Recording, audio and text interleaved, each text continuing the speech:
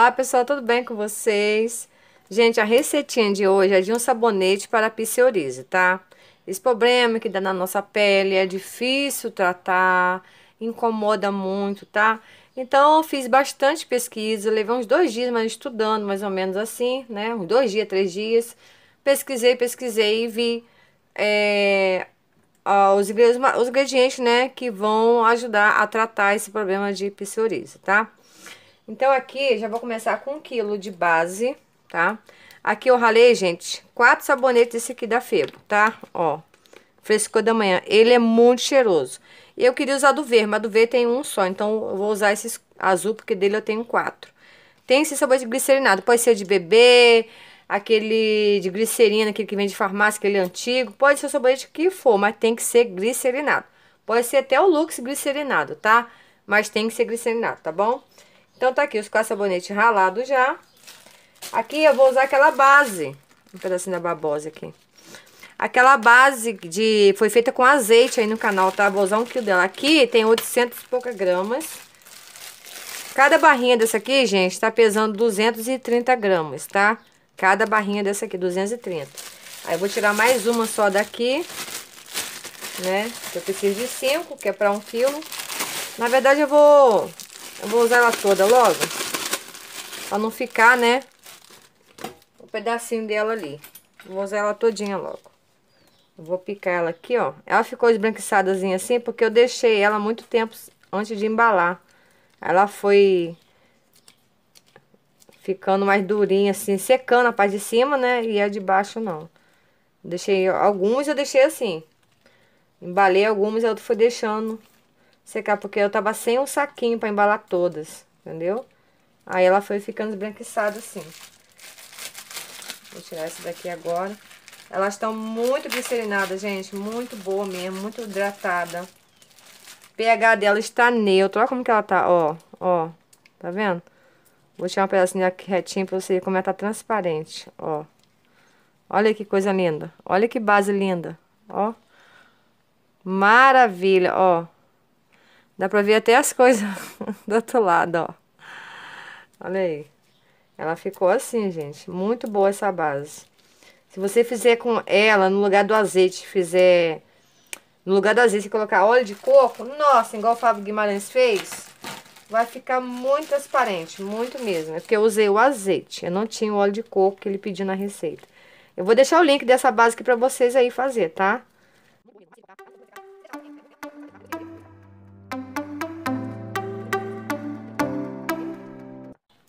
Prontinho, agora eu vou levar isso aqui no banho-maria para dissolver. Aqui junto eu tenho polpa de três folhas de babosa, gente, assim, ó. Bem grande assim, ó, tá vendo? Ó, grandona assim, ó. Que dá dois palmos da minha mão, ó. Três folhas dessa, tá? Eu já tirei a, a polpa dela, ó. Já coloquei aqui. Já para adiantar, né? Só que eu deixei essas folhas aqui, eu cortei ela no pé ontem, né? Eu cortei e deixei de molho na água para sair aquela toxina dela, né? E eu também vou usar, gente, extrato glicólico de calêndula, tá? Que é essencial para o problema de psoríase. E também é, extrato de própolis também é essencial também para o tratamento de psoríase, tá bom? Eu vou botar também uma colher de óleo de coco de babaçu também, que é excelente, ou pode ser óleo de coco extra virgem, tá bom? Então, gente, ó, Aqui, se tiver também extrato de camomila, pode botar também a colherzinha também, que é muito bom também. Só que o principal é a calêndula e o própolis, tá legal? Então, vou botar para dissolver esse... Ah, e a babosa também. É muito importante também. Vou olhar para dissolver em banho-maria e já volto com vocês. Prontinho, gente, ó. Já dissolveu. Olha a cor linda que tá. Ele ficou uns. Esses pedacinhos verdes que vocês estão vendo aqui, que vocês vão ver, ó. Esses pedaços verdes assim isso aqui é a, é a babosa, tá? Ó. Aqui, ó. São os pedacinhos da babosa, tá vendo? Ó. Aí, você, quando você pega na colher aqui, ele fica transparente, ó. Aqui, gente, o que eu vou fazer? Eu vou esperar dar uma esfriada, tá? Pra colocar o extrato glicólico e já volto com vocês. Bom, gente, já deu uma boa esfriada, tá? Aqui. Ó como já tá engrossando, ó. Ó. Ó. Já tá, ó, viu? Endurecendo já na espátula, tá vendo? Tá formando até a pelinha aqui em cima já. Aqui, gente, o que, que eu vou fazer? Eu já vou, vou colocar já o óleo de coco de babaçu, tá? Que é muito bom também pra isso, ele é cicatrizante também, ó. Uma colher só, tá? Pode ser óleo de coco também, se você tiver.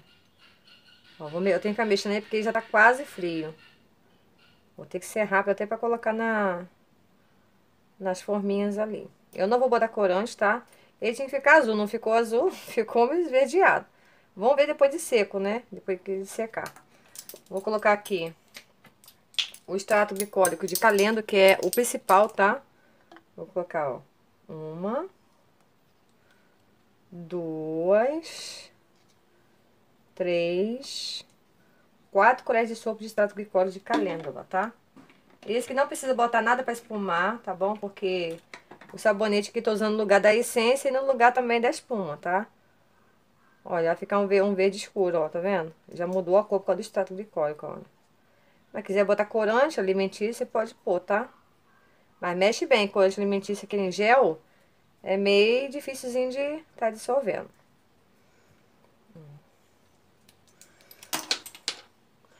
Aqui agora, gente, vou colocar o extrato de própolis, tá? Que vai ser gotas, tá bom? Não precisa ser colher, não. Vai ser gotas. Eu tenho pouquinho dele também. Eu tenho lá em casa porque as crianças usam, né? Minha mãe gosta de botar também no suco também. Vamos ver quantas gotinhas a gente vai pôr. Uma, duas, três, quatro, cinco, seis, sete, oito, nove, dez, onze, doze, treze, 14, 15, 16, 17, 18. 19, 21, 22, 23, 24, 25, 26, 27, 28, 29, 30, 31, 32, 33, 34, 35, já foi ali. 16, 17, 38, 19, 40, 41, 42, 43, 44, 45, 46, 47, 48, 49, 50. 50 gotinhas já é o suficiente, tá? Você acha esse extrato de própolis em qualquer farmácia, tá? Ele é muito bom para esse tipo de problema também, tá, gente? A psoríase. Aqui eu não posso mudar ingrediente nenhum, tá? Tem que usar esses ingredientes, tá bom? Aqui não tem como substituir, a não ser o sabonete, que aí você pode usar 40 ml de essência, mas procure usar essência de camomila, essência de calêndula, tá? Essência de mel, coisas assim, tá bom? E pode pôr um corantezinho alimentício ou o próprio sabonete aqui dentro. Pronto, aqui eu já mexi bem, né? Vou guardar essas coisas aqui. Já vou aqui colocar as forminhas aqui mexendo, tá? Vocês perceberam que eu usei a panela suja do sabonete, do sabonete, do shampoo sólido que fizemos ontem. Deixei a panela suja assim mesmo e aproveitei hoje, né? De hoje também já vou deixar fazer um outro sabonete amanhã também, tá? Eu não, não lavo a panela, não, eu aproveito tudo que fica aqui do sabonete nela mesmo. Ó, vou pegar uma concha aqui agora e já vou colocando o sabonete aqui dentro, tá? Sempre mexendo porque ele já tá endurecendo, gente. Vocês perceberam na, na espátula que eu mostrei, ele já está endurecendo mesmo, ó. Vou mexendo e colocando, tá? Vou colocar duas conchas em cada um, para não ficar muito grande o sabonete. Mas ele tá todo transparente. Gente, olha só a transparência dele, ó. Tá dando pra vocês verem como ele tá transparente? Tá lindo. Ó, vou acelerar o vídeo rapidinho, tá? E já volto.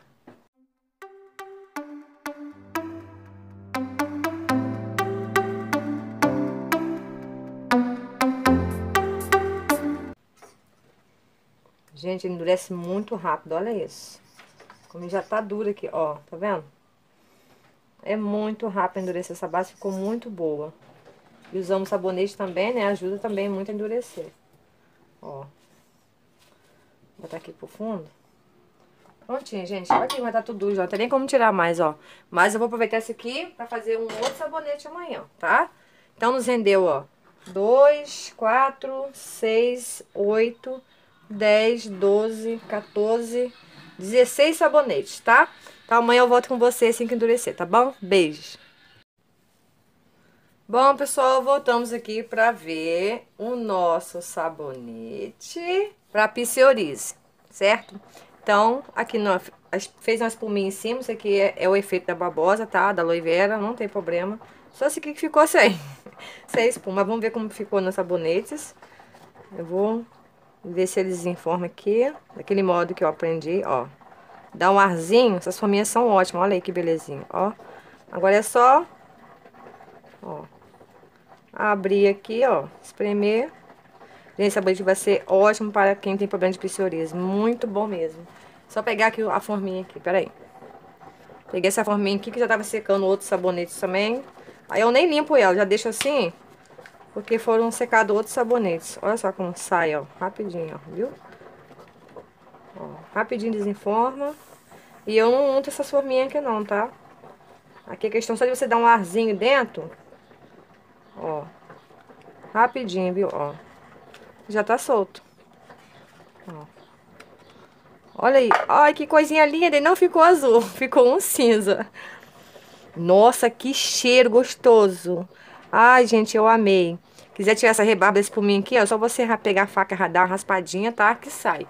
Deixa eu mostrar vocês como pode fazer. Ó, você pega a faca e dá uma raspadinha assim, ó. É bom que você já deixa o sabonete todo nivelado, ó. Tá vendo? Dá uma raspadinha assim pra sair o excesso da espuma, ó. Tá saindo, tá vendo? Ó. Vai retirando assim, ó. Aí é bom, a não ser com as costas também é melhor, porque aí fica retinho, ó. Aí realmente o sabonete vai ficar todo nivelado, ó. No mesmo nível. Olha aí. Tá vendo? Ó. Dessa forma assim. Aí aqui, essas beiradinhas que você faz, você vem aqui, ó. Joga tudo pra cá, ó. Ou então você vai com pincel e vai limpando aqui. Mas assim é melhor, que assim você aproveita até isso aqui, ó tá? Já deixa pra colocar em outro sabonete, tá bom? Ó. Pode deixar aqui mesmo assim. Ele tá bem duro, gente, que eu tô colocando com força aqui. Esse que eu tô virando aqui, ó. Isso aqui. Menina, você desculpa aí, não... Meu, meu telefone descarregou. Justamente na hora que, que eu falei, né, que eu ia acelerar o vídeo. Pensei que tava gravando e eu aqui desinformando. Mas ele descarregou totalmente. Aí eu dei uma carga rapidinho, parei aqui e voltei, né, desinformei os outros aqui. E voltei para mostrar a vocês, tá? Vocês me desculpem. Porque hoje eu gravei muito vídeo e a bateria do telefone não aguentou.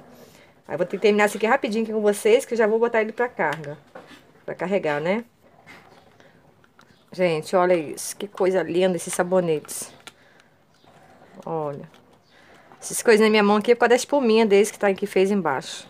Mas vocês fazem o que eu falei. Olha aí, gente. Que coisa linda. Gente, eu fico apaixonado por essas coisas. Ah, as forminhas ficam tudo limpinho, ó. Não gruda nada.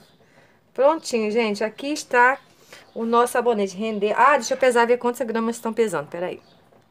Gente, eles estão pesando 145 gramas, tá? E eu não coloquei as forminhas cheias. Vocês viram, se botar cheia, né? Ela vai dar 200 gramas, com certeza, tá? Então, esse sabonete aqui, ó, como é pra psoríase, vocês podem estar tá vendendo aí a base de 8 a 10 reais cada um, tá? Porque são feitos de ervas, é um sabonete natural. Então, e contém muitas propriedades aqui nele, né, pra tratar essa psoríase, tá bom? Então, gente, ó, vou ficando com vocês por aqui, tá? Espero que tenham gostado. Curte, compartilhe, comente e façam essa maravilha. Gente, eu tô apaixonada. A cor tá linda, tá um sabonete assim, cinza, meio esverdeado, né? Pra vocês aí tá um verde. Mas aqui tá um, um verde bem... mais pra cinza, né? As duas cores misturadas. Então, ó, um beijão no coração de todos vocês, tá? Que Deus abençoe todos nós e até o próximo vídeo. Beijo, tchau, tchau.